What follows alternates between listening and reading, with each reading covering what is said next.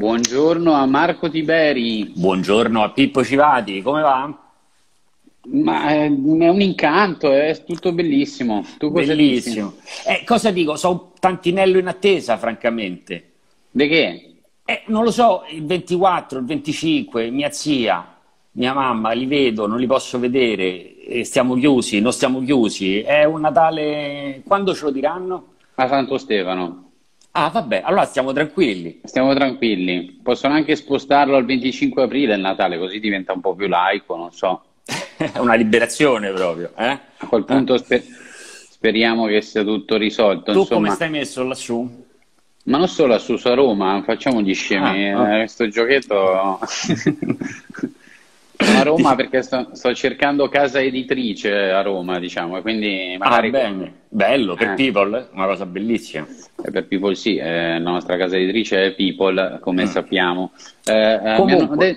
de- eh, so che sei alle prese con una nuova serie, cioè in realtà un cinepanettone, se non Beh, ricordo sì, male. basta con la televisione, bisogna aiutare il cinema italiano, il grande cinema italiano che nel mondo eh, ci dà lustro e quindi ispirandomi a un fatto di cronaca piuttosto recente che appunto ha dato lustro al nostro paese, io starei scrivendo Natale in Libia. No, Ci sono, ci sono due aiu- pro- eh, mm. protagonisti, protagonisti sono un premier e un ministro degli esteri che vanno in questa zona esotica a recuperare alcuni pescatori che lì sono stati trattenuti indebitamente. E c'è tutto il meglio, diciamo, dell'italianità possibile, tutto quanto fatto, diciamo, di fronte a tutti, tutto mostrato per dare al mondo il senso della caratura che il nostro paese ha a livello internazionale. Mi sembra proprio che ne valga la pena. Siamo tutti Poi- molto contenti per i pescatori, ovviamente questo, questo lo diciamo, un po' meno per quella figura che i nostri Boldi e De Sica sono andati a fare, diciamo, di fronte agli occhi di tutti in quel posto e non si capisce bene perché. Che dici? Può funzionare? Non lo so, c'è un cotè, come dire, un po' inquietante perché eh, ci sono i campi libici che dovrebbero chiudere, sai, quelli che ha fatto Minniti con l'accordo, lì non se ne parla nel Natale in Libia. No, beh, no, di questo non ne parliamo. Eh, E ho, una- non- e avre- e ho anche un'altra domanda, scusi, visto che è un braccialetto così, non è che allungano e fanno anche Natale al Cairo, diciamo, e vanno a, pi- a prendere Patrizzacchi, che sarebbe ora che... Eh, mi, sembra, mi sembra un po' difficile. Su questa questione direi che vige il pessimismo della volontà e l'ottimismo della legione d'onore. Ecco, questo mi sentirei. Una legione sentirei di- d'onore, questa è una battuta alla, è una battuta alla Tiberi, che è un po' come quei colpi, diciamo, Sono quelle cose che uno non costruisce per niente, capisci? Quelle cose che vengono Non ci pensato. Vabbè, ok, quindi è una legione d'onore e di disonore. Intanto è caduto. È caduto? Bortone. Cosa è caduto? È caduto l'ultima morte di Peppe Bortone, ma era anche questo previsto perché È almeno- stata questa la sua ultima morte definitiva proprio. Esatto, invece ti dirò che sta andando molto bene e che Ah, ci sono un sacco piacere. di apprezzamenti che arrivano eh, alla redazione di People. Come sapete è il romanzo che Marco ha appena scritto e uscirà in libreria a gennaio, ma se volete sul nostro sito peoplepub.it Ma non, ma non cambiamo discorso, non cambiamo Ah, discorso, vai, perché qui tu- è di un altro libro che invece dobbiamo parlare. Mm. Stavamo prima parlando dei politici politicanti e con grandi responsabilità che si occupano essenzialmente di narrazione e la realtà la mistificano. C'è invece chi la politica la fa in altro modo, diventa narratore e la realtà la disvela. Costui è... so, so, so chi è.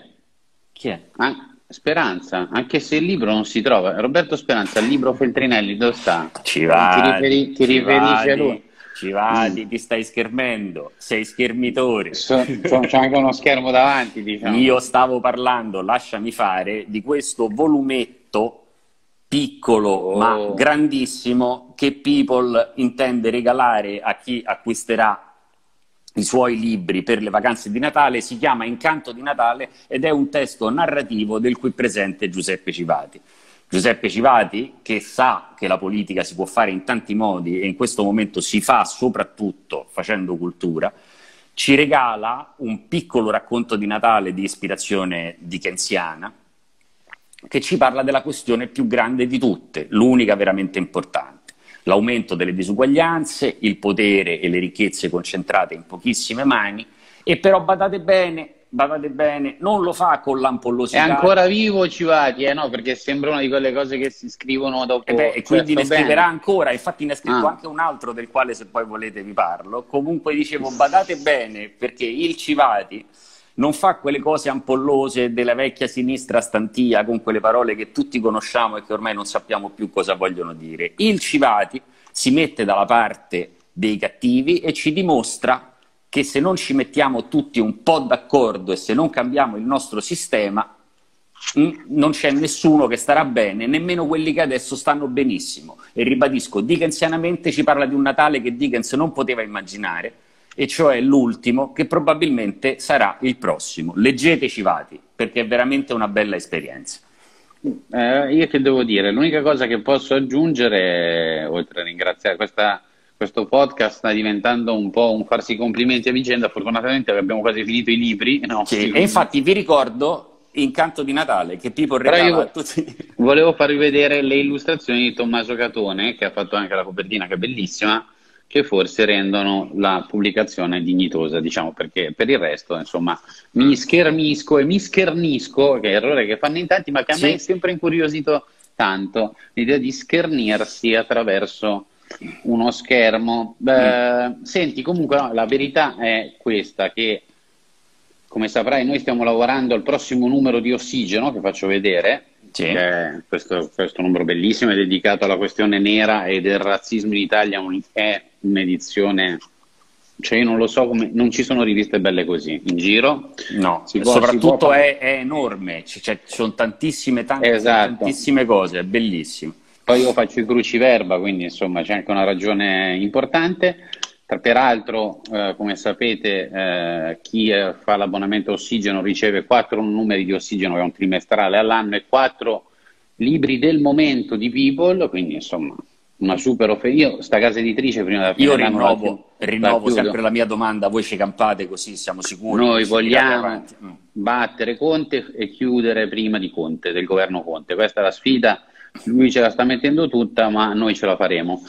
Ti dicevo che il prossimo numero sarà, partirà da una figura eh, della mitologia e della tragedia greca che si chiama Crisotemi, di cui parlo accenno nel libretto. Sì, sembra una cosa, sto andando troppo alto. Eh. Vai sempre su, troppo su, Com- perdonatelo. Ci Comunque Crisotemi abbassa subito, cioè Elettra è quella che dice resistere, no? Questo, se, sapete la storia, se non la sapete andate a vederla perché noi possiamo passare tutto il podcast a spiegare questa tragedia che è di Sofocle nel caso specifico. Mm. Comunque Crisotemi da qui sorella... ossigeno, scusate devo abbassare il mio ruolo. Insomma. Sofocle e ossigeno. A fronte Infatti, di Sofocle serve... Mm.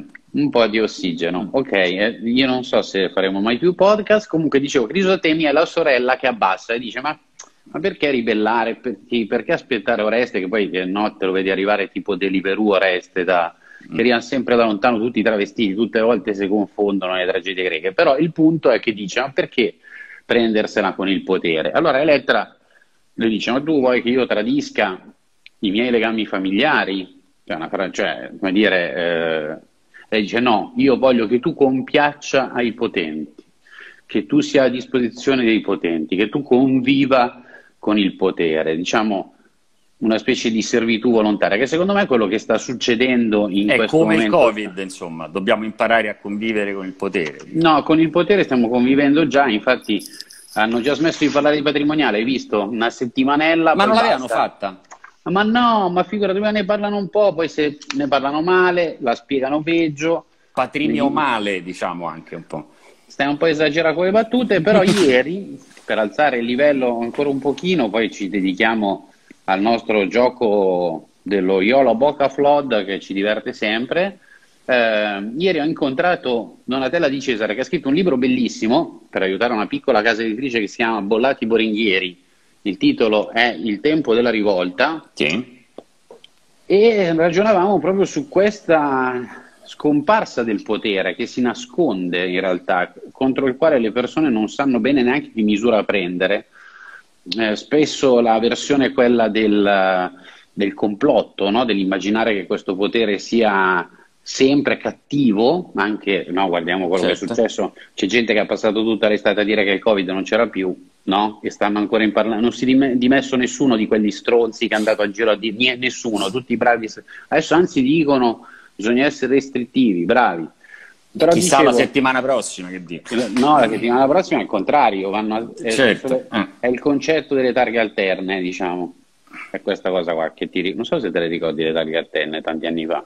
Sì, beh, noi ah. ci affrontiamo i cambiamenti climatici a Roma con questa cosa. Sì, pensa che, ecco, infatti, sono talmente eh, utili che non servono a nulla e rompono solo le scatole, esattamente come i politici di cui parlavamo prima. Dicevo però che questo potere che si nasconde, che si eh, beh, eh, di Cesare cita Foucault, insomma, tutte cose, insomma, cose, complicate troppo alte, forse mi dirai tu.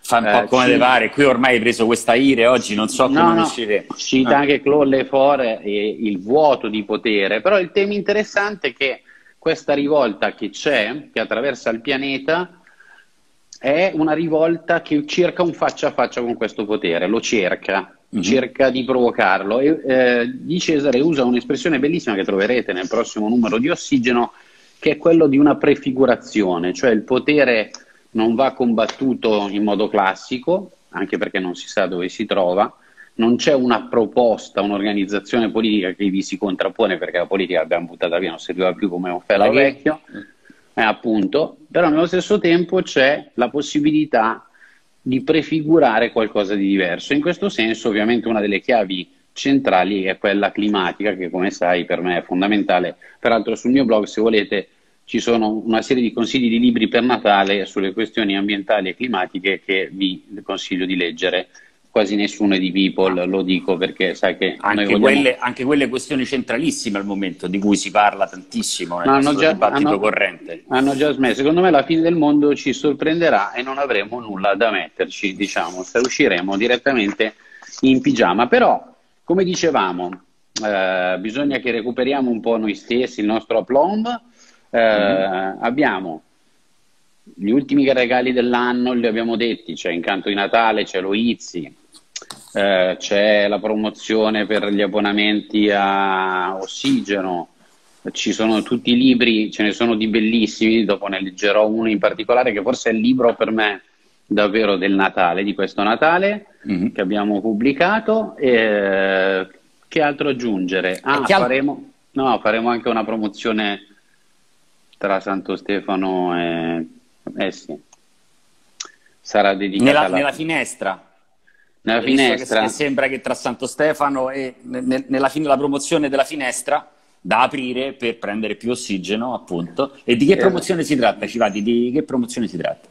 Ma ci sarà un libro che si chiama Fine, ci sarà Incanto di Natale, ci sarà anche un'altra cosetta che ho scritto io, però è molto bella, è su un re maggio che torna a casa, perché nessuno si è mai chiesto dove vanno a finire i re magi. Cioè, quando tornano indietro. Eh, quando sì. c'è la cometa eh, no? e quando sono sulla ribalta tutti... Eh, perché Poi... sapete cosa c'ha Civati proprio di suo? Che si chiede quello che gli altri non si chiedono e si dà anche delle risposte e questo è sempre molto bello e ci dà anche delle risposte. Civati, per seguire oggi... i discorsi di Pippo ci serve un vocabolario Civati di Maio, diciamo un... Più difficile il contrario, mi sentirei di dire ai siberiani. Anche un, forse anche uno Zingaretti, diciamo, basterebbe. Questo era un po'... questo era sottile. No, Zingaretti era è vuoto, ha le pagine bianche le famose Dici. parole di... è come quella, quello, quello, su Salvini tutto bianco che è best questa è una critica che non so se posso accettare fino in fondo. Salutiamo il compagno Nicola poi magari nel 2021 dirà qualcosa magari nel 2021 si sblocca anche ha fatto, come... un, fatto un, fioretto quest'anno come... non diceva niente l'anno esatto. prossimo eh, quest'anno okay. niente c'era un anno difficile nel 2000, come i calciatori si sblocca ne segna uno di culo sai magari dicono un rimpallo e poi certo. vince tu fa tutte le cose che deve fare. Ma noi avevamo detto che facevamo il gioco dello Yola Boca Flood. Yola Boca Flood. Allora, Ci spieghi, scusa, brevemente di nuovo di cosa si tratta, perché forse c'è qualcuno a cui è sfuggita questa trovata oui. civadiana, appunto. Yola Boca Flood è, è una tradizione nata in Islanda nel dopoguerra, non c'erano soldi, non so se avete qualche affinità, sentite Poverini, qualche affinità. mica come noi. Eh. Eh, non mica come noi che stiamo andando tutti a sciare eh, e hanno deciso che il libro era un buon regalo e soprattutto era un buon modo per passare la vigilia, il giorno di Natale, le festività, leggendoli insieme, magari ad alta voce intorno al fuoco. Insomma, mi sembra un'immagine molto forte. L'Islanda è un paese molto particolare che ha una letteratura, tra l'altro, che consiglio tantissimo.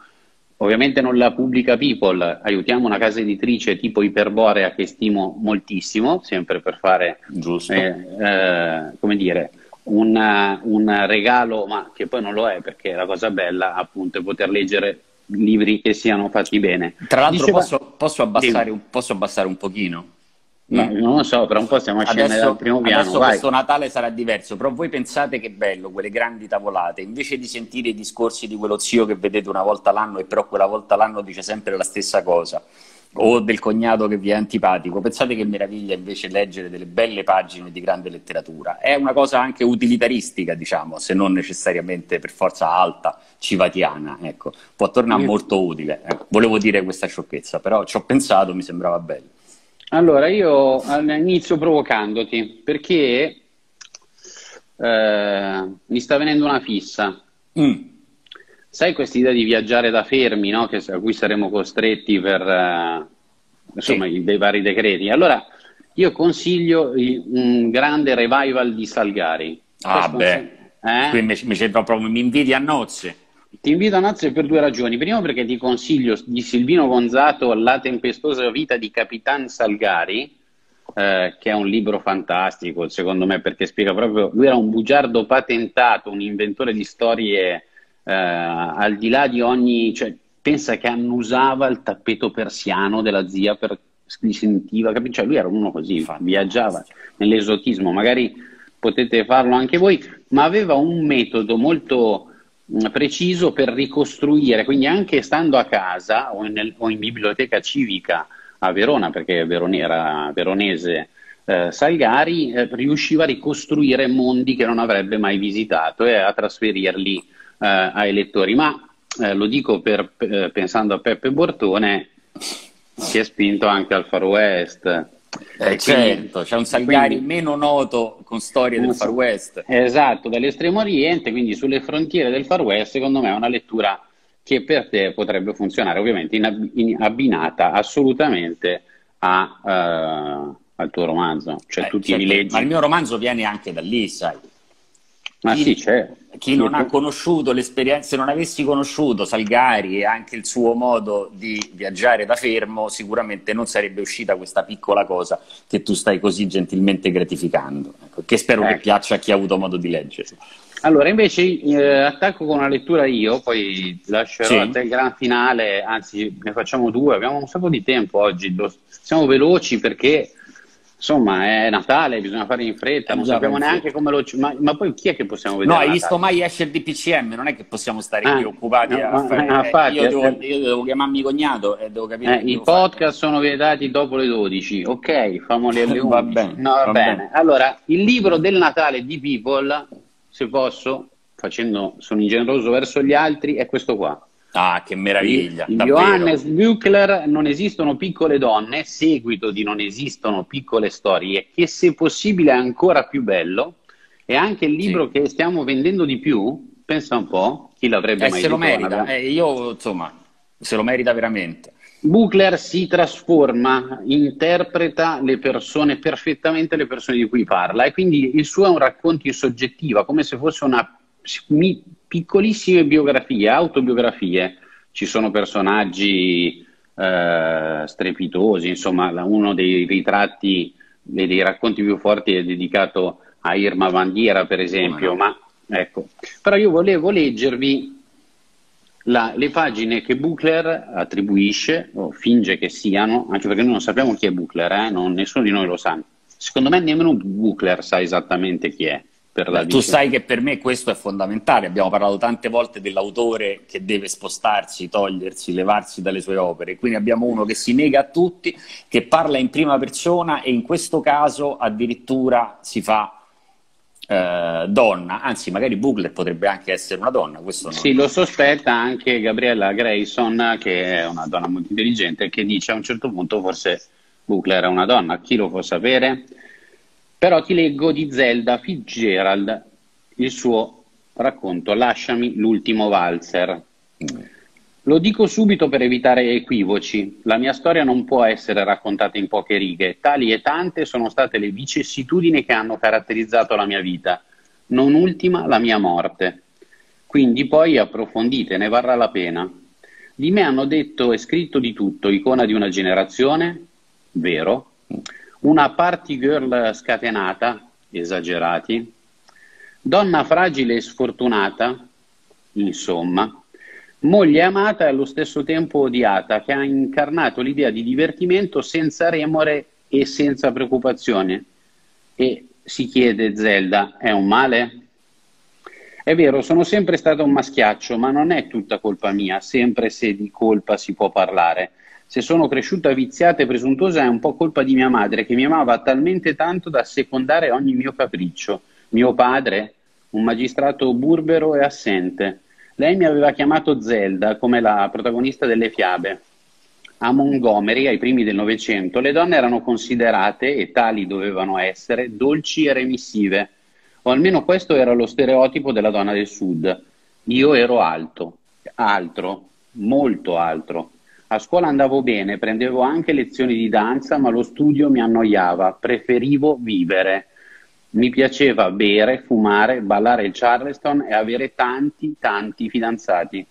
Lo so cosa state pensando, oddio che vergogna, scandalo, la solita storia. Eppure sarebbe bastato leggere quello che avevo scritto sotto quella fotografia scattata al college.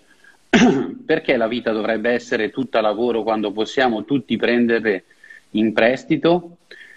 Pensiamo tutti a oggi senza preoccuparci del domani. Beh, ammazza. E così feci bellissimo. per tutta la mia vita.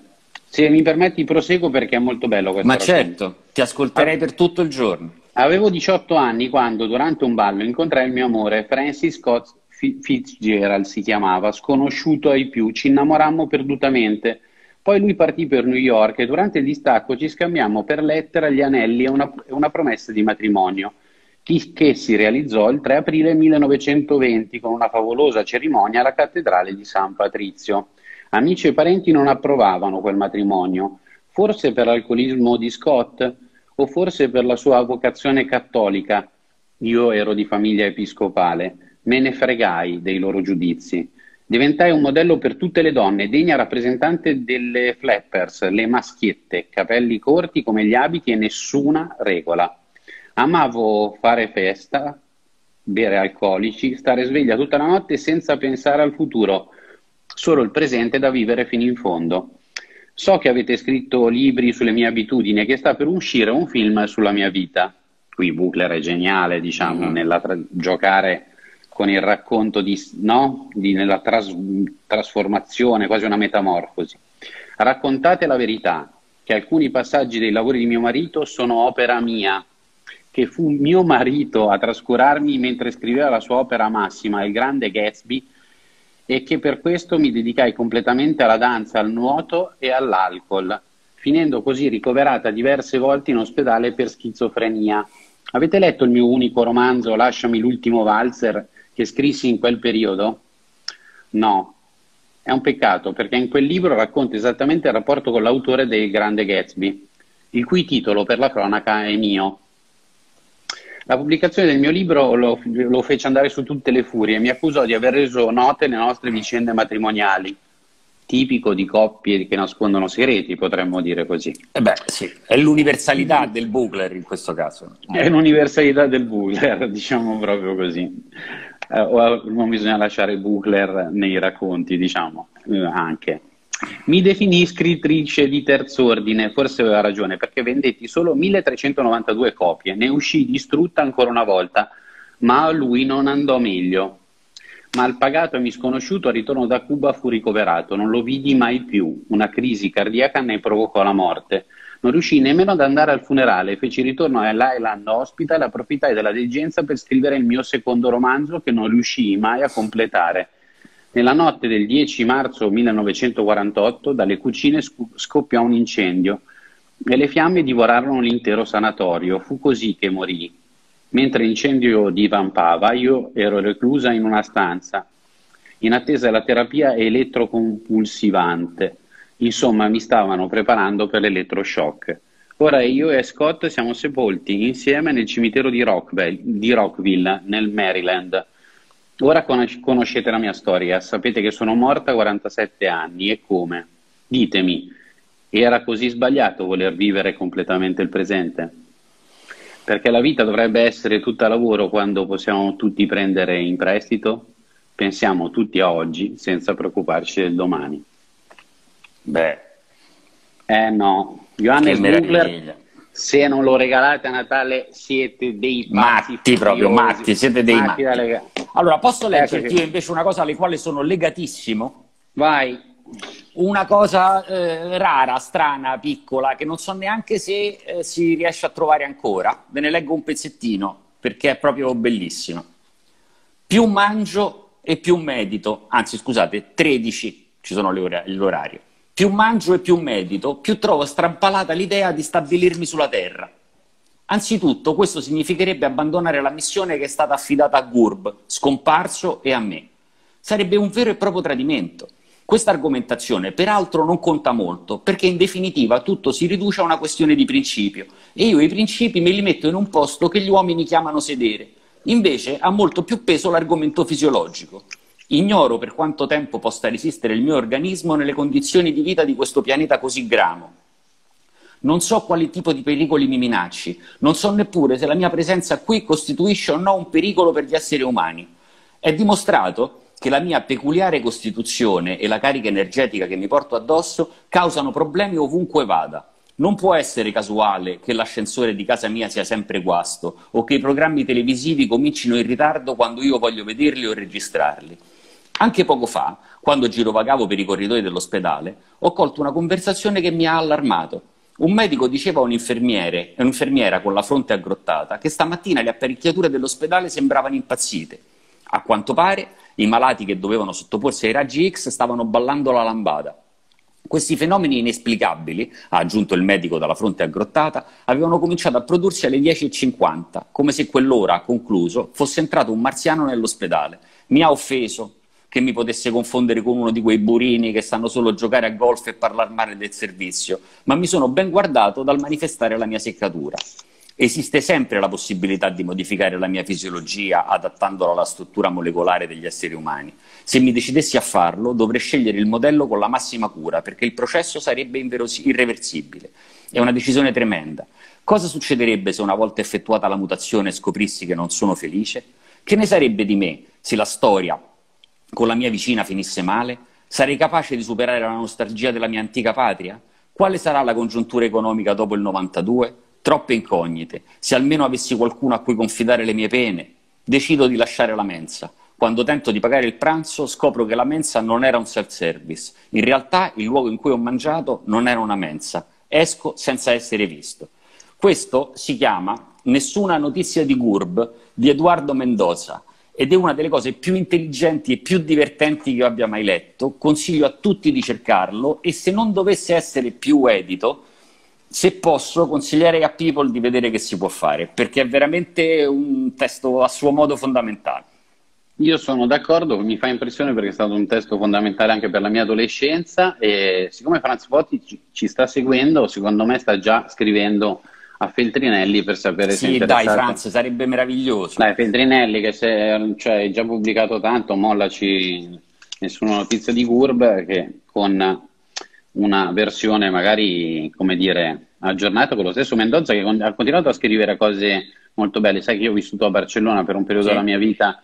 Infatti eh, dovresti dire Mendoza come si dice, perché so che fa piacere a tutti i nostri ascoltatori. No, non me lo dirò mai, anche perché è catalano e quindi potrebbe essere. Comunque sì, bisogna addetare. Mm. Senti, però io volevo, per lasciare a te il gran finale, ho proprio una cosina, perché questa cosa di, di, di Buchler mi ha fatto venire in mente questo libro qua, di una piccola casa editrice che si chiama Inaudi. Ah, non eh, la conosco. Goliarda Sapienza, l'arte della gioia, un libro uscito postumo, per dire quanto gli editori a volte ci prendono proprio in pieno, mm-hmm. che il finale, cioè lo spoiler, tanto è un libro grandioso, uno se lo può leggere mille volte, quando... Eh, la protagonista si ritrova con un amore in tarda età. E senti che roba, senti che roba questa qua, cioè io non, ogni volta che la leggo non ci voglio credere. Sentiamo, io non la conosco, ammetto la mia ignoranza. Parlano tanto del primo amore, eh, Marco, mentono come per tutto il resto. È così, Modesta, anch'io non avrei mai immaginato e purtroppo bisogna arrivare alla nostra età per saperlo Hai visto oggi sul ponte come ci guardavano quei ragazzi? Ho quasi avuto la tentazione di dirglielo, ma non mi avrebbero creduto. No, non si può comunicare a nessuno questa gioia piena ne- dell'eccitazione vitale di sfidare il tempo in due, d'essere compagni nel dilatarlo, vivendolo il più intensamente possibile prima che scatti l'ora dell'ultima avventura. E se questo mio vecchio ragazzo si stende su di me col suo bel corpo pesante e lieve e mi prende come ora fa, o mi bacia fra le gambe proprio come Tuzzu faceva allora, mi trovo a pensare bizzarramente che la morte forse non sarà che un orgasmo pieno come questo. Dormi, Modesta? No.